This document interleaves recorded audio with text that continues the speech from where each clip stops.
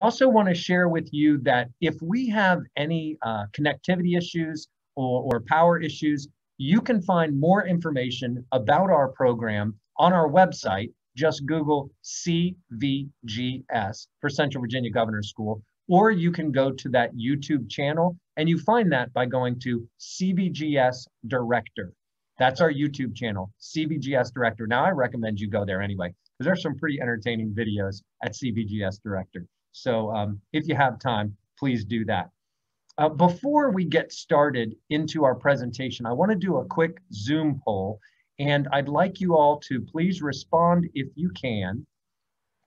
I'm going to relaunch this poll, and it says, uh, how much knowledge uh, do I have about CVGS? And if you please select one of these answers, this is multiple choice. I know very little. I know some basic information. I know a fair amount. I know a great deal. So if you would just choose for yourselves how much you know about the program, that's going to give us an idea um, related to the amount of detail we're going to share tonight. And all answers are going to be just fine. You know, if you know very little, you're going to learn a lot tonight. And if you know a great deal, you're still going to learn some new things because we're a dynamic program. We change from year to year. All right, I'm going to let uh, just a couple more seconds go before I share the results of the poll with you. So we have just a few more people um, if they'd like to respond.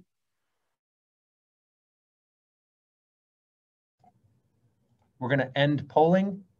And here are your results. Do you all see the results from the poll?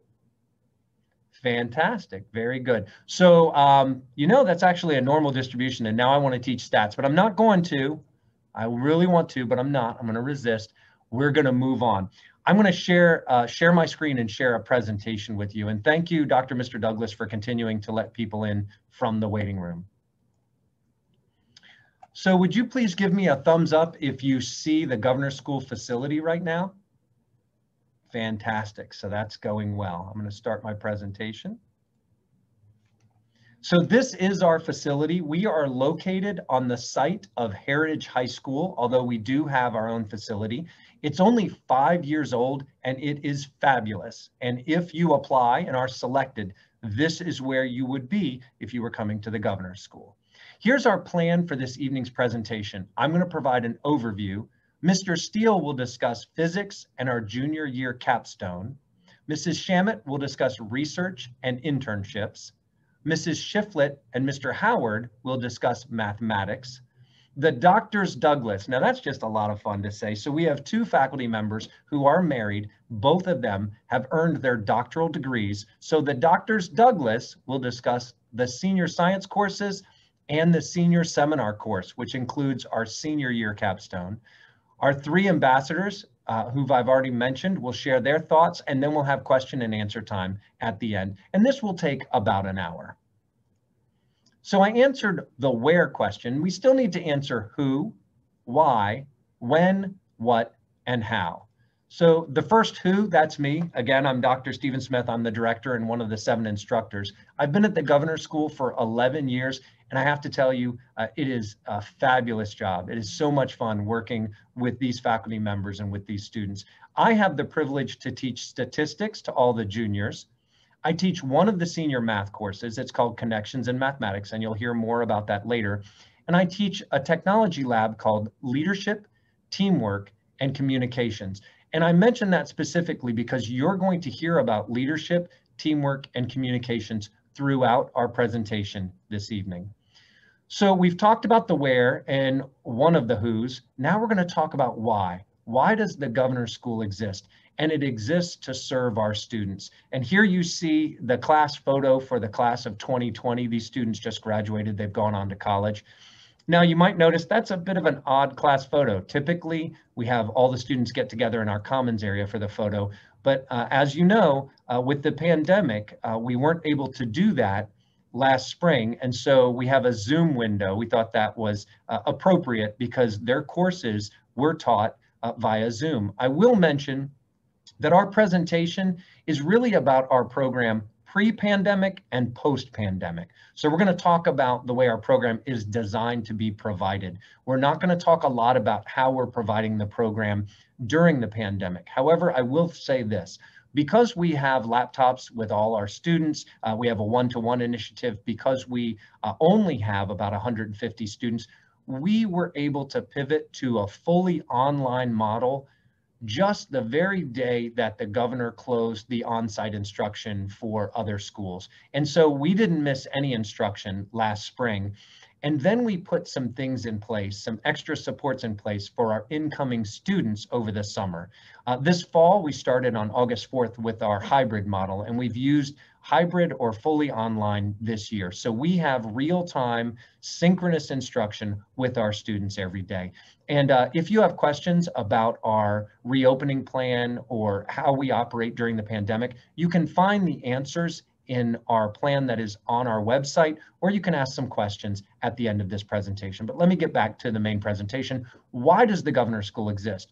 Well, in 1985, the five superintendents from Amherst, Appomattox, Bedford, Campbell, and Lynchburg got together because they saw a need for a program, a regional program that would serve highly talented, highly motivated students who were interested in science, technology, engineering, and math, what we call the STEM fields. And so they created this regional program.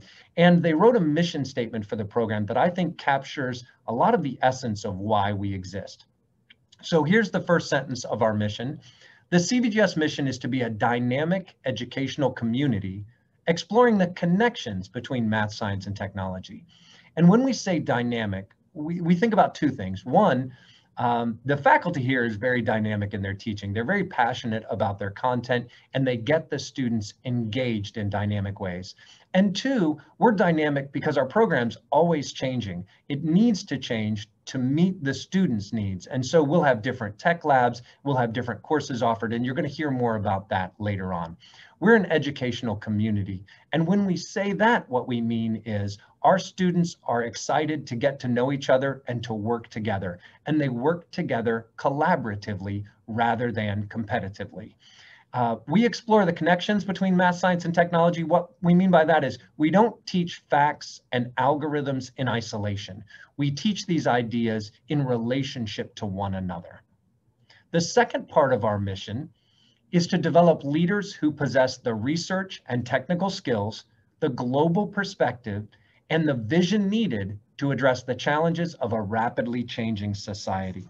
And so I want to note that leadership is a key part of what we do. You're going to hear more about that. Um, I also want to note that we are going to focus on research in the junior year and technology in the senior year. When we talk about global, global perspective, there's really two things there. The first is we want students who can think beyond their home, their community, their commonwealth, even their country. And we also want students who can put problems into perspective. So they need to be able to look at a unique problem and think about it in relationship and in context to other things that they know. And then finally, when we talk about vision, we want our students not only to have the vision to see what is, but have the vision to see what might be. They need to be able to handle new problems that they've never seen before. Um, because we know that our society is rapidly changing and the challenges we have now are very different than the challenges we had 10 years ago or even two years ago. And so our students need to be flexible, creative problem solvers. And we're going to talk about how we help them develop those skills throughout this presentation. So that's why CVGS exists, but there are two more why questions I want to answer. The first is, why apply? Why should you apply to the governor's school? I'm going to give you three reasons to apply. The first, it's good for you. It's good practice. You're going to apply to go to college, and the CVGS application is like a mini college application. So it's good practice for you to do it now. The second, there's no cost to apply. And finally, the application is non-binding. And what that means is if you are selected, you don't have to come. You can still make that choice. So there's really nothing risked when you apply, but there's a lot you could gain. You could gain a lot of opportunity. So those are three reasons why you should apply. Now let's talk about why you might want to attend. I'm going to give you 10 things to think about related to why you might want to attend. The first is the other students.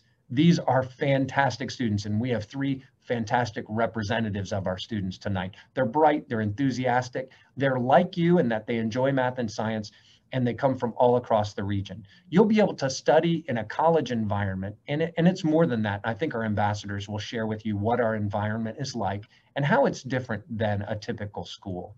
You'll learn how to conduct college level research, and Mrs. Shamit will talk about that. You'll complete a 36 hour internship, she'll mention that as well.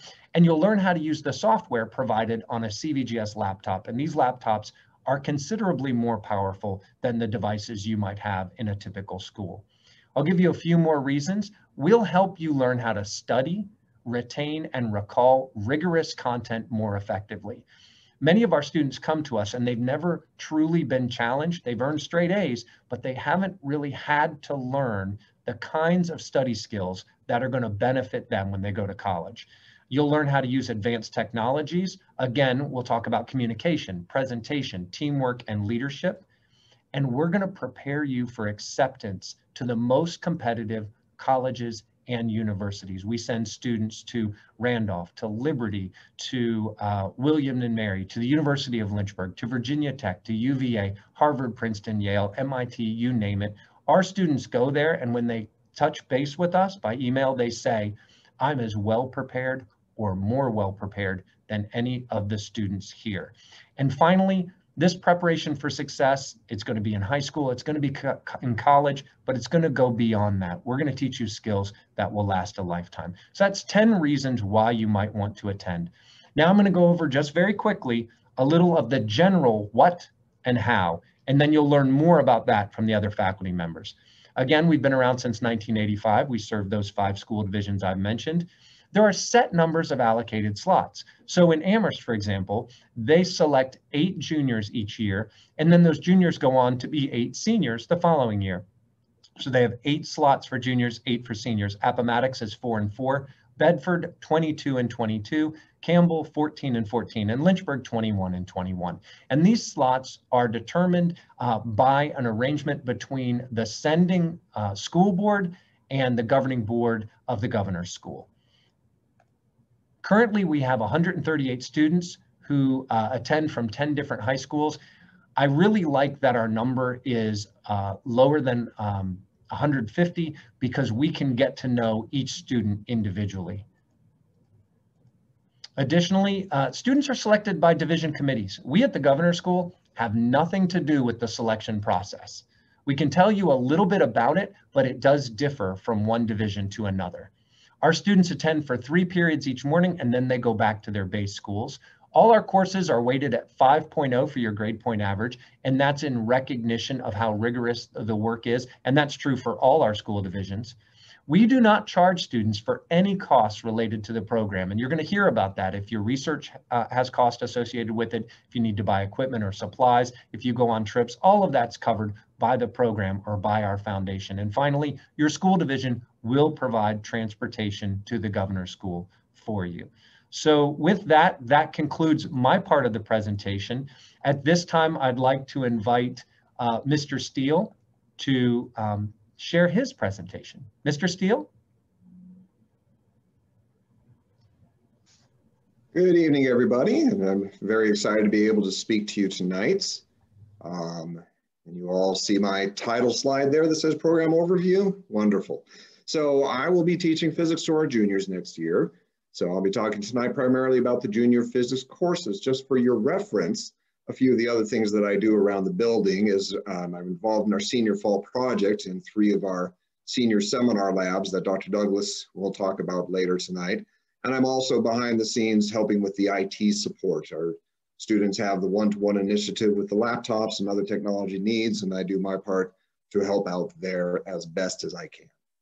So let's talk a little bit about physics at the Governor school and what it would look like and also what it, how it may differ from a physics offering in your base school. So the first thing is that all juniors will enroll in a year-long physics course. We teach it at an accelerated rate through inquiry investigation, and I'll address that accelerated rate a little bit later on. It is an algebra trigonometry based course. So we do sprinkle some calculus concepts in there, but we don't have the expectation or requirement that a student should have completed nor be enrolled in calculus at the same time. We do plenty of activities. Learning should be active. We have the wherewithal and the space and this class size to make our learning interactive with hands-on activities, labs on a fairly weekly basis, projects, computer simulations, and more.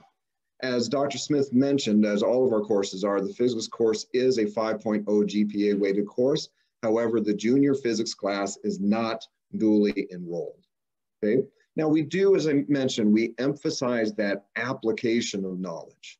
So a lot of times a learner coming into physics is going to feel like there's a lot of formulas to remember. And there can be a lot of relationships, I would rather say than formulas. But we allow the student to have a formula sheet, if you will, that they can produce with whatever they feel is necessary to get them through an assessment. And the key is, is being able to apply that knowledge, not just be able to recall what formula and perhaps do a little bit of magical algebra to it to make it all work out. It's about the application, it's about the process to get to that point. There's a strong emphasis on that, not only through the evaluations and the tests, but also in the labs that we'll talk about in a little bit. Also, the unique thing about physics at the Governor School, or one of the other unique things, is that this is required of all of our juniors. Physics is not a required course in the Virginia High School curriculum. It is an optional science. So students typically take a three-year matriculation through science in the base school, earth science probably in eighth grade, onto biology, onto chemistry, and then beyond there, the science courses that they pursue are optional. So you may have students going through a high school program without getting physics, but the rigor of physics and the critical thinking skills that you get demonstrate to colleges your ability to be successful in a college level course and the value of the physics, whether or not it will be directly applicable to a further major or career, is practically immeasurable. So as I mentioned, a lot of inquiry-based learning. We pose questions, we answer those questions, and we do it with state-of-the-art equipment. In fact, our junior physics lab this year will be having almost a complete overhaul of the equipment that we're going to have. So we will have state-of-the-art equipment. It connects directly to the laptops that the students have. And the ability to repeat, to gather data, and determine the outcomes that we're trying to demonstrate is we're able to get it done easily in a 15 minute time frame. So I mentioned the rigor of the course and I mentioned the curriculum that we cover and I'm not going to list off all the topics to you here, but first semester basically is a study in mechanics, while second semester is a study in electricity and magnetism. And this is one way that our course again stands apart from other high school offerings in physics. Most of the physics offerings from our base schools are either AP Physics 1 or AP Physics C, which essentially is just a study in mechanics, what you see in the first semester there. Not only are we providing a level of rigor, we're working at that accelerated pace that I mentioned. And so we were able to get into the electricity and magnetism, these second semester ideas that you see here. And we're able to give the students the complete breadth of what physics is to prepare them as they continue their journey through science. This would be more representative, this curriculum here, of what you would see in a typical first year college algebra trigonometry based physics course. So by us being able to get those second semester topics complete. Now, as mentioned, we have that active laboratory environment, and I'd, I'd like you to just really pay notice in these pictures and the coming ones that the students are engaged. As you look around, everybody's involved, everybody is active we're able to have small group settings. You won't ever find a group larger than four. You'll see groups of three around as well, because we have the wherewithal, as I mentioned, to be able to equip our lab the way that we want learning to happen. So students are hands-on, students are interactive, students are engaged, and each student is an active contributor into their group as they work towards solving the types of problems that we may face them.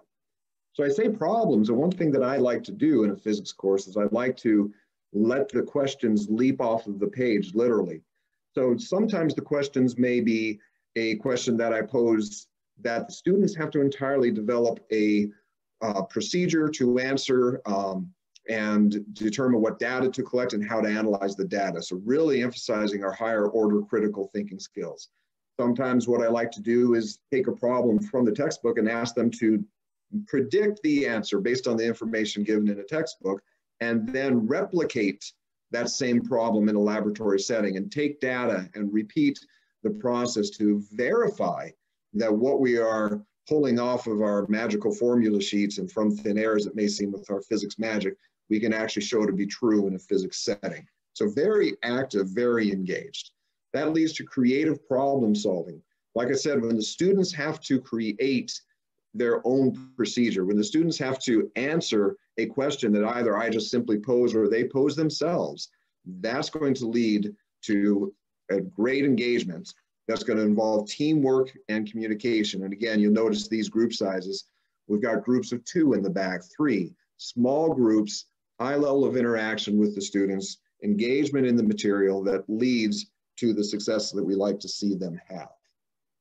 Now, you may have noticed that these pictures may look a little dated. I'm not just referring to perhaps some of the clothing choices or hairstyles, but rather nobody was social distanced and nobody was wearing a mask. So those pictures were two years old. This is what lab has looked like this year. So I put this in here just to demonstrate to you that even though we are schooling in a pandemic, as Dr. Smith mentioned, we pivoted last year to the online model when uh, the schools were closed by the governor. And we picked up on time at the beginning of this year within all of our science classes, regular laboratory work where the students can still get their hands on the equipment and still perform meaningful science by gathering data and drawing conclusions from the data. And again, through our foundation, what we are able to do is we are able to, as you see, literally provide every student for whatever our lab may be, their own set of lab equipment in class where they can be working and answering that to be able to engage with the equipment, engage in the curriculum, and maintain social distancing and safe health procedures in our pandemic time. So that's something that we're especially proud of here at the Governor's School. Now I do like to do projects. I do like to have that, again, the learning be more than just a, a, the rote process that you might expect from a textbook. So we do engage in a variety of projects through the year to make those connections into the real world. We do have two highlights that are some of our larger projects in the junior year. The fall highlight is the egg drop, where our students design some sort of container that can survive a drop of about 30 feet and make that impact. And we do some analysis of the impact after the fact. So that's quite the event. And then as well in the spring, we do a culminating project, which is a unity with the mathematics students and the physics students. Of course, all students take both, but just the two ideas coming together and having a singular goal with students working in group as a junior capstone level what exactly we do will vary from year to year as we find emerging technologies, but in the last years, it has been a project involving robotics. So as you see with the egg drop project, the students are definitely looking forward to it. Maybe a little bit of level of stress as they're packing everything in, but it ends up being a fun day for all. We hope for good weather when we go outside. We usually are lucky with that. And the students can expect to see if their eggs survived. And usually we're able to crown a winner at the end of day, if you will, for those who met the project requirements the best. So that's what I have for you. And at this point, I'm going to toss it over to Mrs. Shamit, who will be talking to you about our junior research course. Right. Okay, thank you, Mr. Steele. And just making sure everyone can see my PowerPoint screen. Yes? Okay, thank you. Well, always have to make sure. You never know when those technical glitches might happen. So thank you. All right, so I am Mrs. Shamit, and I am the lead research teacher. I am not the only um, faculty member who teaches research. The doctors Douglas also do, but I help kind of coordinate us all so we're all on track and, and all following um, our own curriculum um, that's unique to the governor's school. I also work with uh, the internship program and help to work on placing all of our juniors into their internship and get to go out into the community and meet mentors and go visit students on site when they are at their internships. And I also help manage our social media. Okay, so why research? All right, so research is, we consider it a marquee course for us. It has been in existence since the beginning of governor's school. So over 35 years of effectiveness. And the beauty of the small size of our program is that over those 35 years, we've been able to change and evolve research to meet the needs of our students. we can envelop new technologies, we can meet new uh, challenges and interact with more people from the community and local universities. And the goal is really to focus on the process of science. I tell students multiple times, I really don't care if your hypothesis is right or wrong. That's not the point. The point is to learn how to do science. And that's really what we focus on throughout the year. And because we can adapt our program so uniquely to our students and we focus on the process itself, that's really how, what makes our research program unique. Even though some other research programs may exist in the region, ours is definitely a unique experience. And part of that is also because it's student driven. Students get to choose their topic. We want to make sure they're doing something they enjoy and something that will be meaningful to them so that when they talk about it, they have a sense of pride and accomplishment about their research and it's it's a lot more meaningful when it's their own topic. So that's part of the trouble with research though is how do you pick a topic? Right? Many of our students are are really interested in so many things. So early on we have students kind of identify some major areas that they might be interested in, and we pair them with a faculty member who will serve as their on-site research mentor. And we have a lot of one-on-one meetings early in the year. Another benefit of our small size is that we can actually have one-on-one meetings multiple times early on to help um, drive that research question.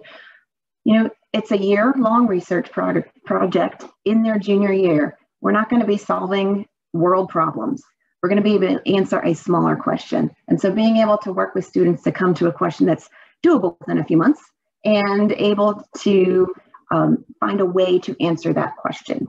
So working one-on-one with the mentor, we help students develop a good question, a hypothesis, and the methodology behind that. So that involves getting into a lot of existing literature, maybe meeting and interacting with mentors off-site. We are able to work with professors at local universities.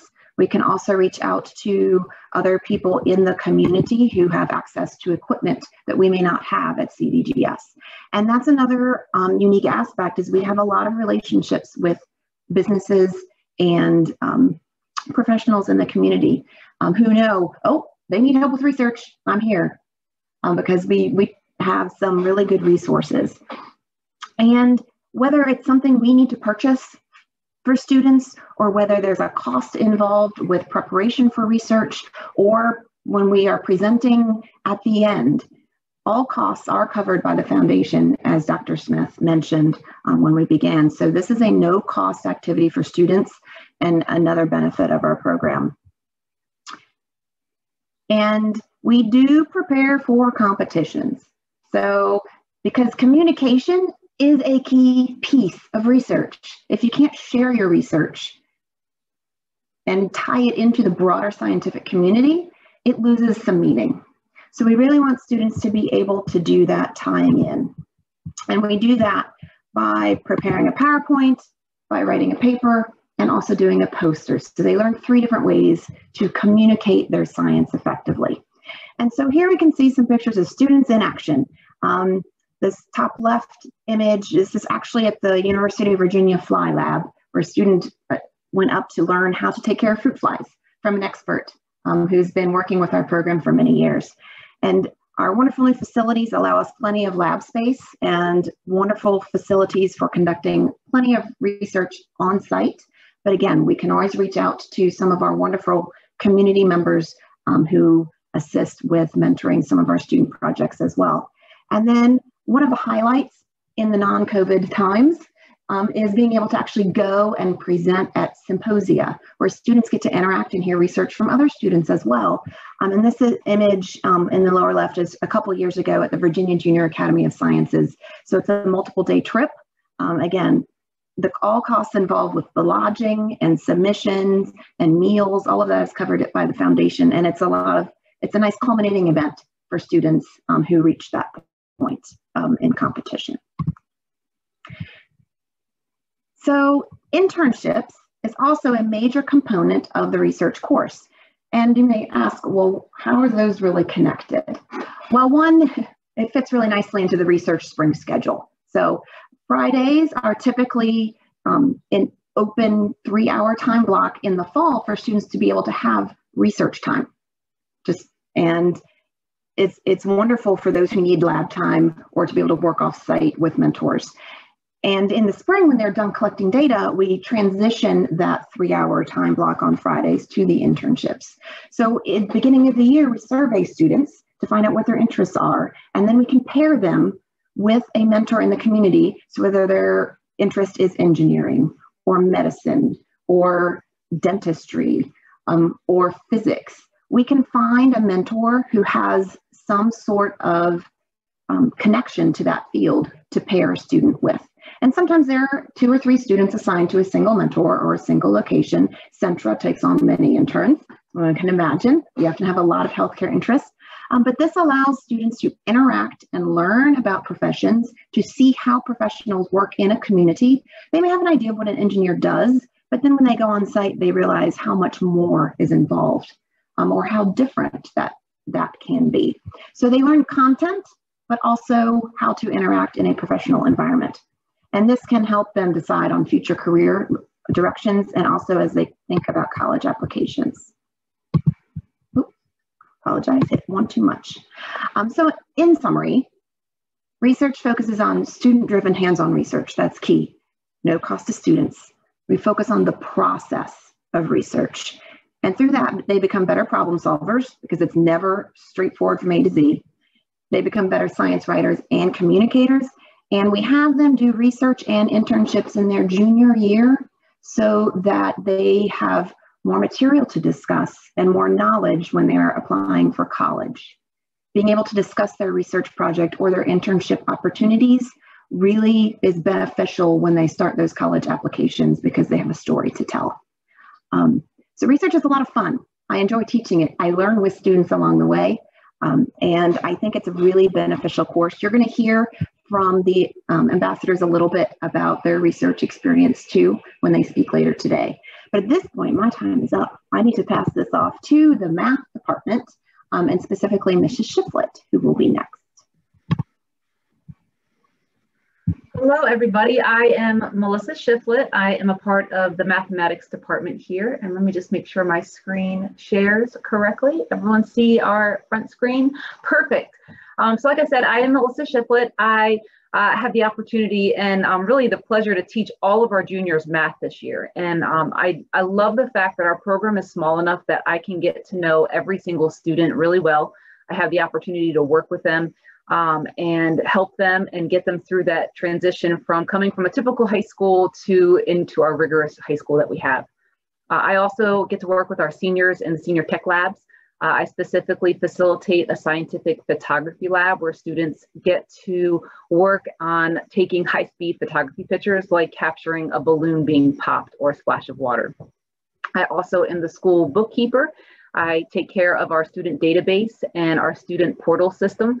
And I'm also the CVCC liaison. So I work with the community college to make sure that all of our courses that are dual enrolled um, have all the students are enrolled correctly, that their grades go through, and that their transcripts work out the way that we want them to. So the mathematics department here at CVGS is made up of myself, uh, Mr. Howard, and also our director, Dr. Steve Smith, who teaches one of our math courses as well. So uh, we have several different types of courses that we offer here, and several of them are ones that you won't find in a typical high school.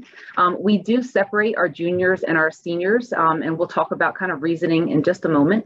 Um, but for our juniors, we offer either a math analysis course or a calculus course, and these are more dependent on what courses they took prior to coming to Gov School. Um, and we try to help them make good decisions about what's the best course to take.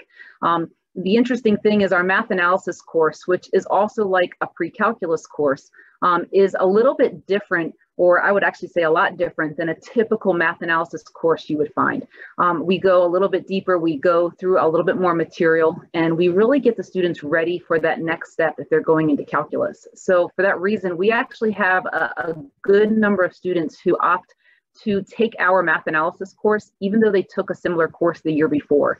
Um, and all the students that opt to do that find that it's really helpful in building that foundation and giving them the tools and the knowledge they need to be successful in future math courses. Um, our Calculus 1 course for juniors is actually a little bit more than just Calculus 1. We cover a full semester of college calculus plus half of a semester of Calculus 2. Um, and then we look at our senior courses that we have, and you'll notice that we have several courses listed, uh, Calculus 1, Calculus 2, and Calculus 3, and then a course at the bottom that we're particularly proud of. Um, this is our Connections in Mathematics course, and we actually created that here at Governor School, but I am going to hand this off to the actual creator, who is Mr. Howard, because I think he can do it a little bit more justice. Thanks, Mrs. Shiflett. Appreciate that. And uh, yeah, nice to be with everyone. My name is Steve Howard. Uh, this is my 31st year at the Governor's School, and I'm also the parent of a CVGS alum. Um, during my time here, I've taught uh, a variety of mathematics courses and computer science courses. Um, I've also taught a variety of senior seminar labs or tech labs, as we call them, um, and to go back to what Dr. Smith said earlier about, you know, being a dynamic uh, community, you know, some of the tech labs that I've taught have come and gone. Their, their, their time has, was, was well spent and now they have moved on. And so currently I teach uh, video production and apps for, uh, or mo mobile apps or the two tech labs that I have currently. Um, some of my other duties, I am half of the IT department. And so we are responsible for uh, all the computers, both hardware and software uh, at the governor's school. And we're also uh, responsible for the connectivity for our local network, whether it's wireless or servers or hardwired things or any type of communication. And then we are very lucky um, to be able to um, be with Lynchburg City Schools as they allow us to tap into their fiber. So if ever any of our information uh, or data need to sort of, you know, come in and out of the building, then we ride on Lynchburg City Schools wires and they handle all of that for us. And so we are very grateful to them for that. Um, the courses that you see uh, on the screen now, um, I've actually taught every single one of them somewhere during my tenure.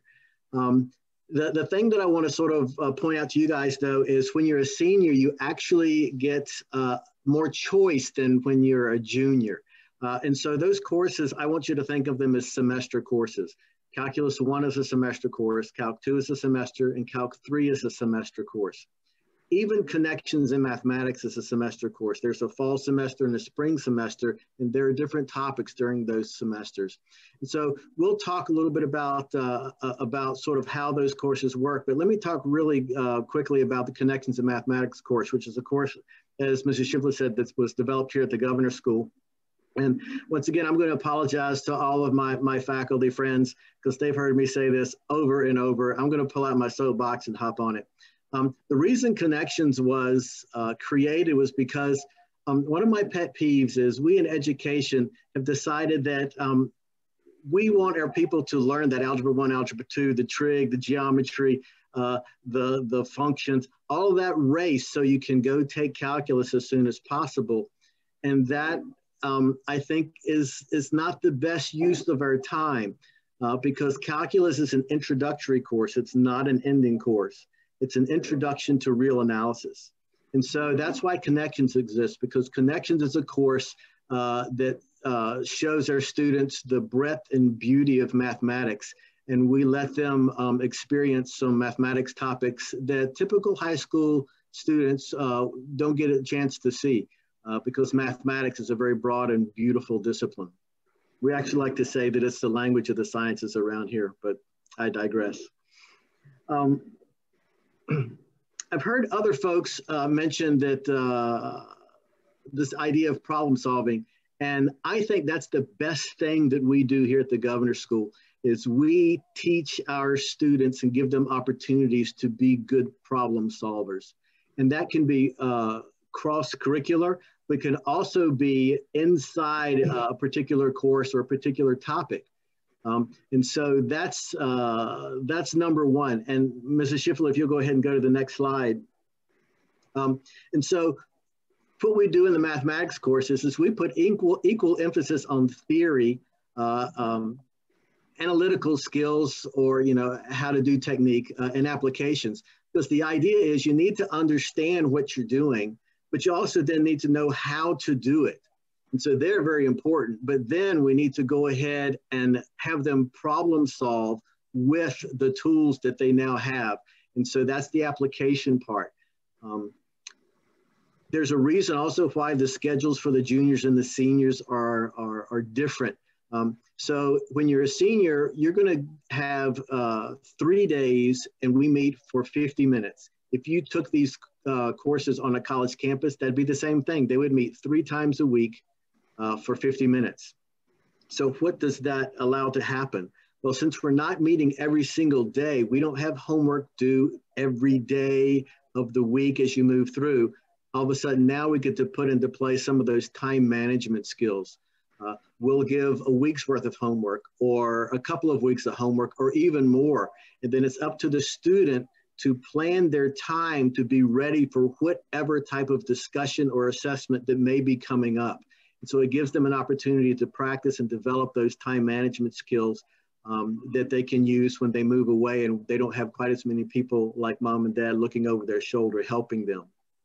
Um, we like to also align with the science courses. So sometimes topics uh, appear together. Uh, like if you're doing something in physics and maybe something in, in mathematics will show up at the same time. And that's great. Um, but I think it's really cool that both the juniors and the seniors have this culminating experience where you take uh, the ideas, you, you take uh, your, your abilities uh, to problem solve and you take the science and you take the mathematics and you put them together in an ill-structured setting and then they get to actually interact and use those and problem solve outside of a particular topic in a classroom but actually put it all together uh, and I think that's really cool uh, that we get to do that here with their, um, with their students. Um, I think at this time, I'll throw it back to uh, Mrs. Shiflett and she'll tell you a little more about our courses. All right, hi guys again. And uh, I'm going to talk about how our courses are different than what you would expect to see at your base school. Um, like I mentioned, I love that our program is small enough that I get to know all of my students and I get to build relationships with them. Um, even this year during the pandemic, I've had more opportunities to be able to meet one-on-one -on -one with students to help them through the time management skills, prepare them for tests, um, and just to kind of help them even with college planning for our seniors. Um, one conversation in uh, particular stands out to me because I was talking to a student who remembered sitting in this very meeting last year and heard me saying that our courses are more difficult and rigorous than what you would expect to see at your base school. And he said, I remember sitting there thinking, oh no, it can't be that much harder. It can't be much that much better. They're just saying that to make their program look really good. And he said, you know what? it was true. These are definitely a lot more rigorous and they have prepared me a lot more. So that is one of the things that I love about our courses is we're able, um, with the students that we have, because they're very motivated and ready to go, and because the time we have, we're able to cover more material and we're able to go um, more in depth into that material.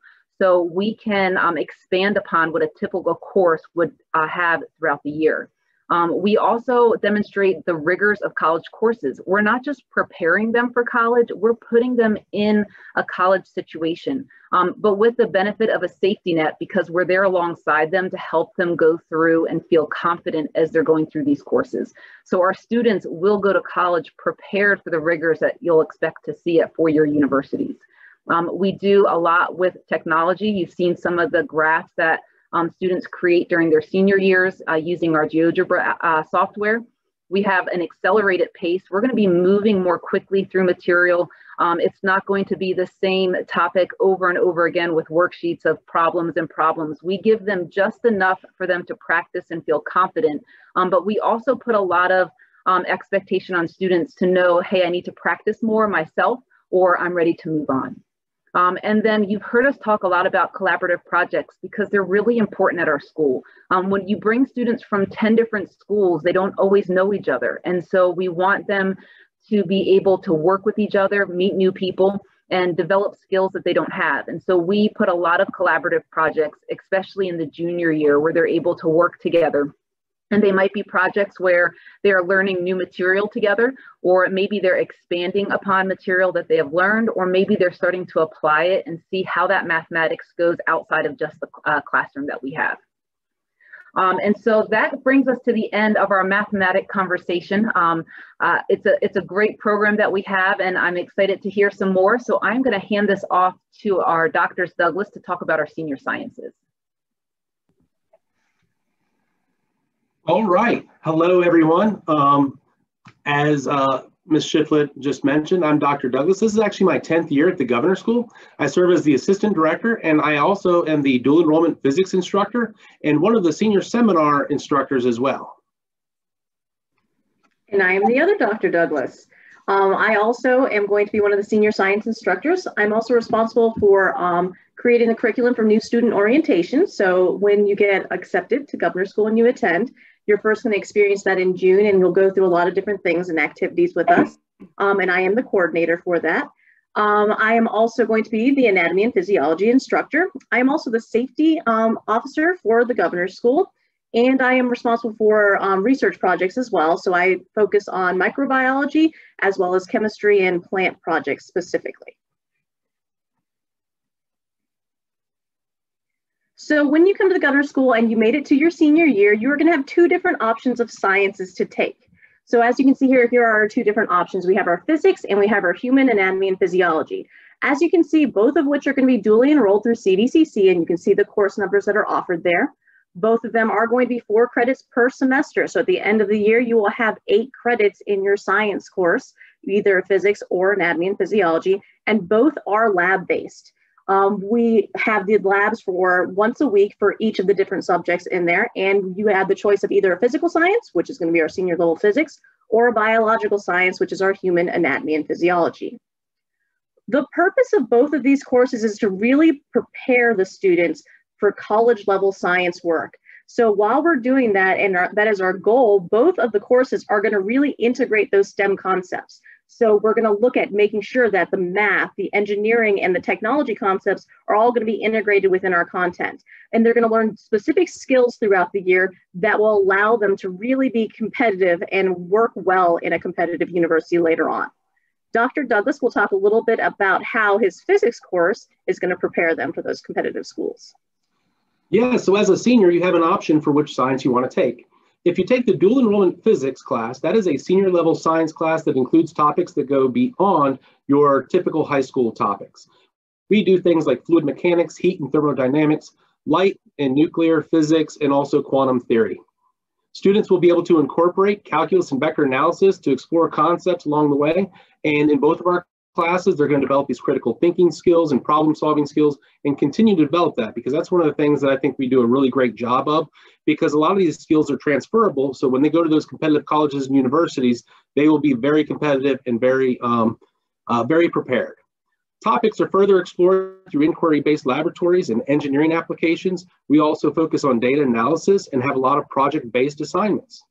Students also will be able to do computational and programming applications using Python, and we also look at the analysis of physics research. So you can tell it's a very rigorous program. We have high standards for our students, but they will be very well prepared. And we help them along the way. It sounds a little intimidating, but we are uh, collaborative. And so our students, do, they work together. They're not just competing against each other. We're actually happy to help one another. Um, and so we also have an extended lab time on Tuesday. So you actually get the benefit of just like a normal college environment, you have extended lab periods as well. Okay. So in A&P, um, I take approach that I think education, especially in my class, is kind of a holistic sort of thing. I think content is super important. So it's really important for your health and medical professionals to really know the parts of the body. But while they're doing that, I really want the students to learn other technologies along the way. So it's very research oriented. We make sure that we're still diving into the research to make sure that what we're reading about in the textbook is current with what scientific literature says. Um, and we integrate technologies along the way. And I teach the students to learn how to learn. So I will tell them that there are certain technologies that they're going to have to learn, and then they will tell me what they're going to do in order to learn how to do it. And they have to learn how to teach themselves to do those sort of things. I support them, of course, along the way, but it gives them that ability to not have someone looking over their shoulder teaching them a technique, and they know how to successfully do that and have the self confidence to do so. Those labs that we have, again, they're hands on. We use lots of um, sophisticated technology that allows us to take different measurements for different probes for different sensors for the body. So the students learn how to use these different types of sensors.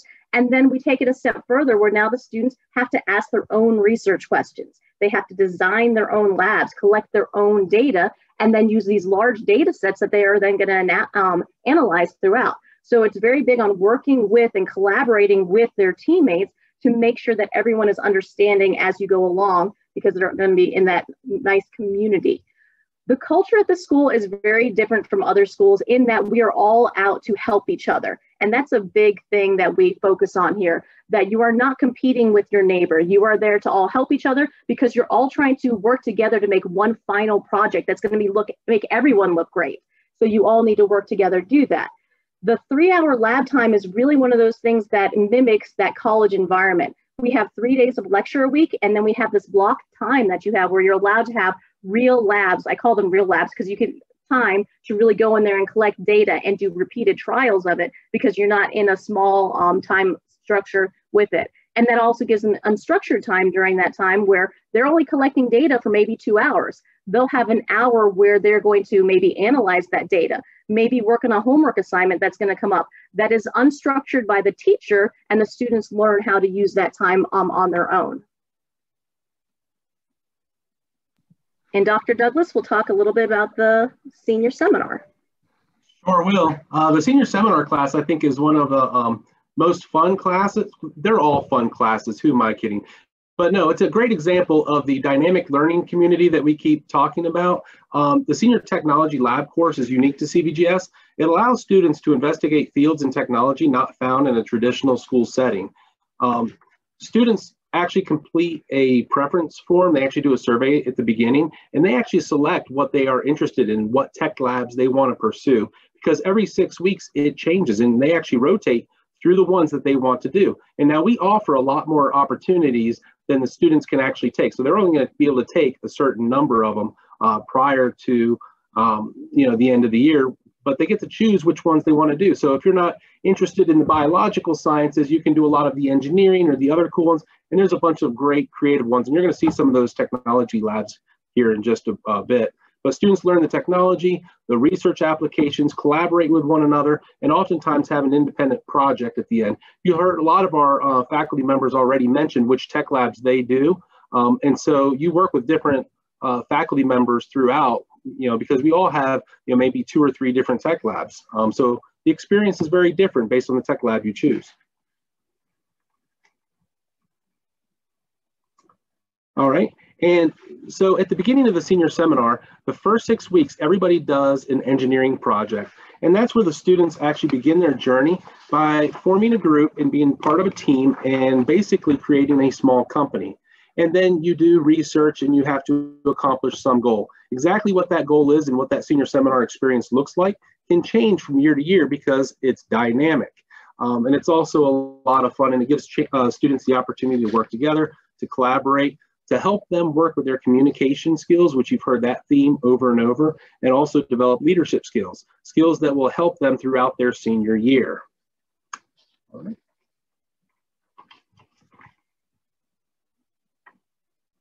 And so some of the technology labs that we have offered, now these are technology labs that we currently have offered. And so I'm not going to say that these are definitely going to be around when you're a senior, because as some of the other folks have already mentioned, like Mr. Howard mentioned, a lot of the tech labs have come and gone in the time that he's been here. Some of the tech labs that I started off with have come and gone. We're constantly changing and updating our technology labs based on not just the interests of the students, but also what does the cutting edge technology look like? Uh, for instance, over here on the right side, I get to uh, do laser cutting and the 3D design and print. Um, my newest one is actually virtual reality, which has been uh, very popular. That's recently developed. And students can actually go in and look at the different educational benefits and also the practical applications for training purposes and also for business marketing and other things. So all of these things have a practical application in our society. And also help students develop those um, inquiry-based opportunities that we keep talking about because a lot of these will have an independent project at the end where students are um, allowed to investigate um, whatever options they want to go into. And so a lot of these will change as you'll see. All right. So the technology labs are really my favorite part, though I love A&P and research, this is really my favorite part because I think of it as getting to play with really expensive toys that Gov, the Gov School actually picked up the tab for. So when I look at this, for instance, I do microscopy. Microscopy includes our scanning electron microscope. Our scanning electron microscope, when it was first purchased, retailed at, you know, a quarter of a million dollars or so. So it is a really high-end microscope that we get to use here. And the students don't just learn the theory behind it, the students are the ones that are using it. So as you can see here, here's a student loading her sample. They prep their own samples, they load their own samples, they take their own pictures. But one of the things they may do is they may work collaboratively with the people from Photoshop because scanning electron microscope pictures come in black and white. And so they can colorize them with the help of a partner who's doing Photoshop. Um, I also run microbiology. Microbiology um, for the senior year tech lab focuses more on food microbiology because I really like food. So they learned, yes, to handle bacteria and fungus safely, but then we create things like cheese or kimchi and learn the fermentation process. Um, I also run biotechnology, and biotechnology um, has been a tech lab for a very long time. But what I do every year in biotechnology basically changes on whatever the students come in already knowing. So if they've already know how to do something, we're not going to do that particular lab. So it's whatever cool labs I find out there that I'm like, ooh, that's neat and I have the freedom to actually get new things because the foundation is really what's supporting this for us. So we really get a lot more opportunities that traditional schools aren't going to have because we have that foundation that's willing to spend this type of money on it. And then the culminating at the end of the year after the tech labs is going to be the seniors capstone project. This is also another really cool um, project that they have. We call it the senior science scenario. And what we do with this is we basically take the all these seniors and we are going to put them into groups and these groups are going to have people that come from the different sciences and people are going to take on different roles within this project so we'll give them some sort of scenario that they're going to have to research and then they'll have um, the opportunity to as a group kind of tailor what they would like to actually research and create through the process this senior science scenario also changes each year based on um, what the environment's like and what we would like to focus on and what the newest things are. Last year, um, since we had COVID that came in, that took a part of um, the senior science scenario. And I imagine this year there will be some aspect of that that's going to be included with it as well, though it's probably going to be different than the previous year. So it's a really nice way of taking all the skills that the students have learned through their junior year with their research and expanding that and um, able to do that in their senior year while they're going to take the things that they learned in their math courses, as well as in their two different science courses. And they're going to be able to put all that together into this beautiful project that really blows my mind every year when the students do it. It is really amazing what they come up with. And that is what we do during our senior year. All right, so I think that wraps up the senior sciences and the Doctor's Douglas presentation. And I appreciate everyone that's still here with us. We had like one hour to try to get as much together for the faculty, and we all want to keep talking because we're super excited about what we do. I didn't even get a chance to talk about the student activities and all the fun things we also get to do, but it's very cool to be here, to be a Griffin. And I'd like to also just mention that when you come here and you're a Griffin, everything we do that's Gov School time is during Gov School time. So we do not infringe on the time at your base school. So if you're in sports or work or anything like that, um, that's fine. You can still come to governor school and still participate in all your base school things. Just wanted to throw that out there. And at this time, I would like to actually, um, I'm gonna let Mel Melanie introduce herself. She's our first senior ambassador and guest speaker tonight. Um, so Melanie, when you're ready, please go ahead and begin. Hi, my name is Melanie Bowling, and I'm a senior here at CVGS and at Brookville High School. And I'm going to talk a little bit about what my research project looked like.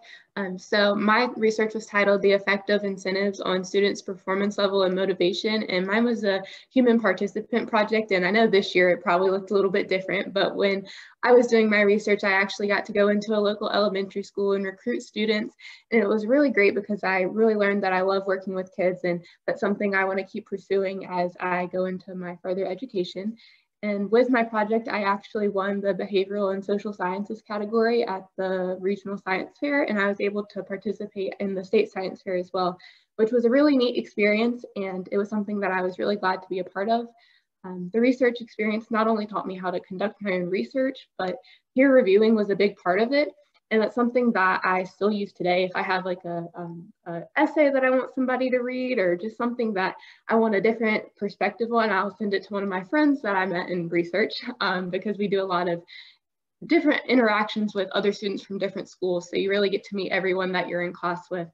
And um, I'll be like, hey, can you read this for me and see what you think? And they'll send back feedback or it's just a really great way to get a different set of eyes on what you're the work you're producing. So research was really beneficial and it's something that I've talked about in interviews. Um, it's a big part of uh, the science and um, everything that I want to pursue. So I really enjoyed research and it was a really great experience. All right, thank you so much, Melanie. I appreciate you sharing your research experience. Um, I think next up we have our ambassador, Drew Flint. So Drew, if you're ready, uh, you can take it away. All right. Hello, everyone. Um, my name is Drew Flint, and I am a student at EC Glass High School and the Governor School. So at the Governor School, we have this phrase, which is a community of learners. And I actually don't think anyone's already said that tonight. So I'm kind of happy to introduce that. But basically, it encompasses our culture here at the Governor School. So everyone really loves to learn and to share their knowledge with other students. And I think the most unique and arguably the best part about this is that anytime you're in a classroom with someone, you know, you can point around the room and find someone that knows what they're talking about or and can help you through maybe what you're not quite understanding. And this was, I think, one of the biggest changes for me when I came to the governor school is, you know, there's always someone that I can call up or shoot a text or just reach out to, and they're going to help me. And um, as I figure out what I need to do. And I think this really definitely leads to um, many different collaborations. So, and the program here at the Governor School, which they've already mentioned, encourages this collaboration. So I remember in my junior physics and math analysis classes, we would have labs or group projects, you know, every other week or every week.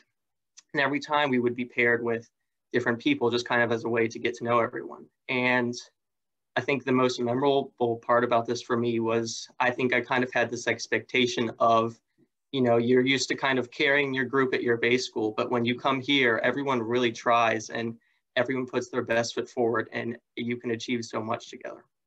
And then I think a similar thing this year with my uh, computer science class and my calculus, you know, we have labs uh, in class and but we're able to work together and brainstorm ideas and I think this is really important for the governor school because um, the governor school teaches, like Ms. Shiflett said, you know, it's a lot of complicated and complex material.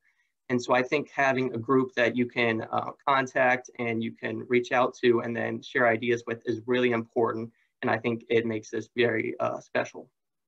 And so I think this really leads to, you know, a culture that's designed around cooperation and collaboration, not uh, as much competition and that was probably one of my biz- biggest misconceptions two years ago was i thought the governor school was so competitive and you you know everything was competitive. There was so much tension and it was kind of a toxic environment. And but i think i found you know after going here for about one and a half years is that it's really focused on working together. And i've had so many fun moments just working with my peers. And i think um, this design around collaboration is really smart because you know, when you go off in the real world, you're going to have to work with uh, different people who you may not know. And I think the governor school really sets you up to uh, succeed. All right. Um, thank you so much, Drew. I appreciate it. Uh, our third and final guest speaker, Aleesha Mays. Uh, so Aleesha, when you're ready to go, uh, you can go ahead and take it. Thank you. Hi, my name is Aleesha Mays. I'm a student of Heritage and CVGS. So I know we touched on some of the class classes and how they operated, but there are three really big points that I want to touch. So application over memory, that's how the CVGS classes are operated. We have math, science, and technology, and they all focus on application over memory because we want our students to have a better understanding, not just basic memorizing. We want our students to understand what they're doing, and work with each other and see if they can come up with new ideas. Which, moving on into working with each other, I know Drew talked a lot about this, but we at the Governor School love collaboration. Even in this virtual environment, they actually set up Zooms for you. I find myself emailing my teachers all the time and seeing and seeing if they have scheduled times that they can meet with me pretty much what I wanted to really touch on was application over memory because we want our students to understand what they're doing and solve. And then collaboration because we want our students to work well with one another.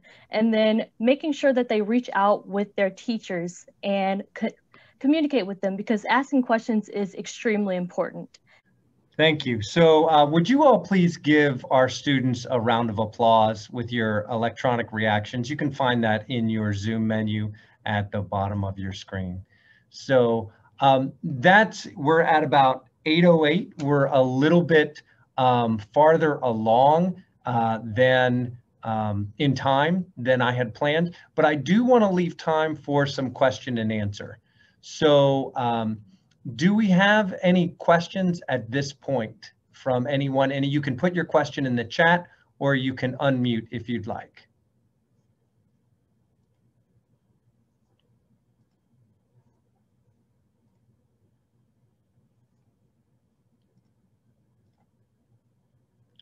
All right, and that's okay. Maybe, wait, there it is. I love it. The first question, Stephanie, thank you so much. The first question, and we always talk to our students about being brave and not being afraid to uh, to ask their question. So the question in the chat is, what is our first step to apply? Excellent question. You want to talk to your guidance counselor. So the applications are handled at each individual base school. Talk to your guidance counselor and they will get the information you need to you. Um, do you need to know what career you want to do when you go to the Gov school? No, you do not you you're in high school. You don't have to know that at all. Don't let anybody tell you you need to know that yet.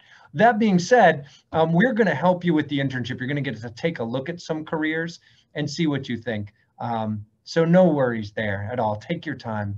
Uh, explore a lot of things and figure out what it is you want to do. When is the application due? That varies by high school also um, but it probably um, it's going to be due in mid to late february. Um, if not, awesome. Thank you so much. That's great. If you are accepted, when will you know? We send letters out um, typically at the end of March, right before spring break. Um, You've mentioned capstone. Do the students end up with a capstone diploma? Thank you so much for that question because that might be what we call a close confuser. When we say capstone, what we mean is a culminating activity that really brings together uh, the knowledge and skills that you developed over time. So we have a capstone uh, for junior year and for senior year, but they're unrelated to the diploma option. Great question. Thank you. Dr. Smith? Yes. Uh, one of the questions was, if not initially accepted, is there a waiting list? That's a great question. And the answer is yes. Yes, there is a waiting list. And um, there will be some students who um, will be selected and for whatever reason, perhaps they're moving, uh, some other reason they might not accept selection. And then we would move down the waiting list to other students. Thank you so much, Mr. Howard, for that. Um, there is transportation provided by each school division. And so that would be, again, something once you're selected, we provide more information about that in the new student orientation that Dr. Mrs. Douglas coordinates. Do the projects impact college applications? Uh, just curious whether the students pick project topics based on interest only or tailor them to the next school they hope to attend. I'm going to say some of each, right? Because you're going to have some unique opportunities here and you might choose to talk about them in your application essays. Yeah, so some of each, it really depends on what your interest is. Can you clarify again who makes the acceptance decisions? Yes, I can. There is a division committee for each school division. We have nothing to do with it. Um, so when you complete your application, um, some school divisions like Amherst and Appomattox have one high school. Some, well, one of them has four high schools, right? And that's Campbell County. So um, those applications all go to a central committee and they make the selection decisions. These are really good questions and I want to um, thank the brave individual who chatted the first one. That was Stephanie. Thank you, Stephanie. Any other questions?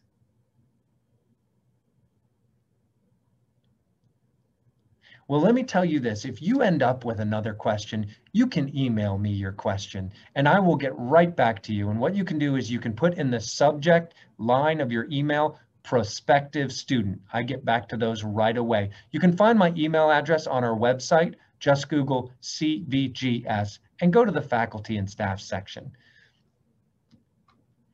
Any other questions before we wrap up? We are going to post this video uh, on YouTube. We want to thank everyone for attending. Um, collect data from multiple sources. If you want to find out more about the Gov School, ask someone who currently attends the Gov School that goes to your high school, or ask a teacher. Uh, if you have a teacher that's been at your school for a number of years, they're going to know about the Gov School. So collect information from multiple sources. Thank you so much for being here. The last thing, um, do you know of any specific thing that they're looking for in our applications? I do. They're looking for a demonstrated academic ability and an interest in math, science, and technology. Those are two things you can be pretty sure they're going to look for. Um, thank you all so much for coming. I appreciate you. Have a great evening. Uh, thanks to the faculty. Thanks to our student ambassadors. Have a great night, everybody. Thank you. You are so welcome.